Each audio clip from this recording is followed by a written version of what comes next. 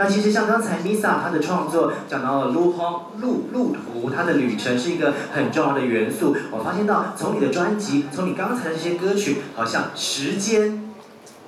很重要的一个点在当中，完成了你这张专辑，是不是？来跟现场所有的还有网络前面的朋友们来介绍一张你这张最新的一个作品哦。啊，我这张专辑叫《时间的痕》，就是时间的痕迹的意思。然后是我过去这几年啊写的，就是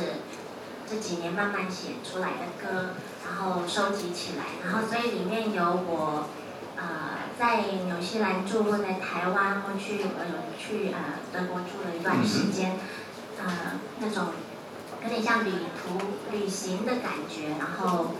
呃还有包括我自己身上发生的一些事情，或者是身边的亲人朋友发生的事情，这样一一个很多的感想写出来的专辑。嗯，所以刚才的第一首歌曲就说了，我想什么呢？其实是希望可以跟身边的亲朋好友都可以长长久久，然后紧紧的联系在一起啊、所以刚才讲了，时间的痕是你的这个专辑，客家话的话，哎，怎么样说这张专辑的名称呢？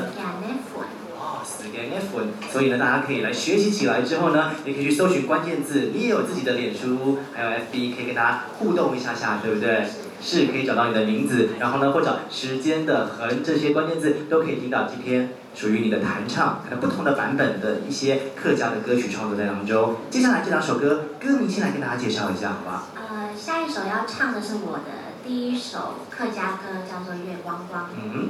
然后呃，它就是在讲我的童年的一些